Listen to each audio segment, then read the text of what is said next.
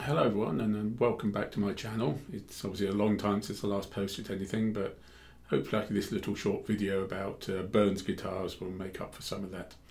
Um, as always if you like what I'm doing please do uh, click the like button and subscribe as well and I'll try to do more frequent ones but to be honest it's very hard to get hold of unusual guitars nowadays. In fact it's hard to buy any guitars at a reasonable price um, but I'll keep looking and hopefully I'll find some more interesting ones to talk about.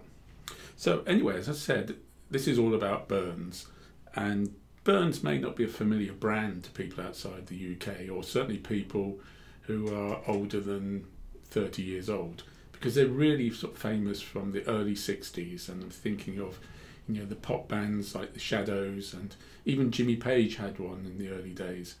But they're not really something you see outside of England. And the reason they were successful in England was really because of price the import duties on Fenders and Gibsons was way too high for the average player. So uh, they were turned to Burns, and Burns had these kind of Fender like guitars um, that you could get more easily. So Jim Burns first started uh, making guitars in 1958, which uh, he had the Ike Isaacs short style guitar. Uh, these were incredibly expensive, so only about 50 were made and I say incredibly expensive, I think it was around £60, which in 1958 actually was a lot of money. Um, so th they went on for a little while, and then in 1961 uh, he came out with the Bison guitar, and that again was quite expensive. I think it's around 150 pounds.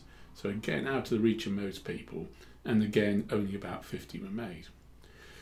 So Jim Burns decided, well, I, I need to make something more affordable uh, so that uh, people can buy them. And that's when this guitar came about. And it is the short scale jazz guitar. And we say short scale, it is short scale. It's about 23 and a half inches as opposed to the normal uh, Fender scale lengths, which are, I think, 24 and a half or 25 and a half, can't remember now. Um, but certainly it's, it's, it's not um, one for shredding on because it actually once you go higher up here then it actually has, does get quite tough to bend strings and I, I tried doing some songs earlier on it and I found that my puny fingers really couldn't handle it. Okay down here though so the cowboy chords are quite fine. That aside it's it's not a sort of budget catalogue guitar it's um, it's actually intended for you know professional musicians and be, but still be affordable. Um, so it's got a nice mahogany body. Um, the neck wood, I guess, is of unknown origin. Hopefully, it's mahogany. It's quite hard to tell because it's a light colour. Pickups you'll probably recognise if you're a fan of Brian May because these are the same trisonic pickups that he used in his Red Special. Because it's two pickups on this one, we don't have the clever switching systems that Burns introduced later, which is called the Wild Dog uh, electronics. This is actually just two-way, uh, sorry, three-way switching for the two pickups, and a single volume and tone control. What's different about this one, as I mentioned in the sort of heading to the video, is it's a prototype. So this has been assembled without the tremolo arm, which you'd normally get, and just a fairly straightforward bridge on there and the scratch plate doesn't extend up as far as it would do on, on the production guitars.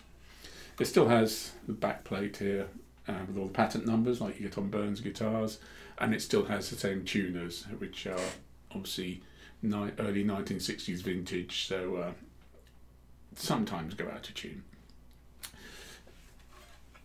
So there you have it. It's uh, an interesting guitar for playing nice and low down here. I wouldn't recommend going higher up because it hurts and uh, let's plug it in. Oh, just just a bit more history on Burns because obviously it said Burns London here.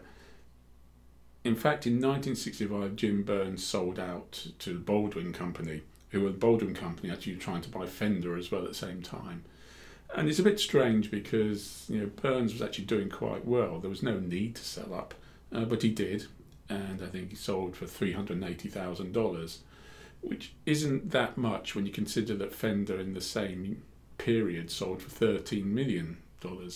So I think he sold himself short there. And in fact, he, Jim Burns did try to come back later uh, in the 70s trying to set up guitar brands again, but it was never quite as successful. So there you have it, uh, Burns short scale jazz.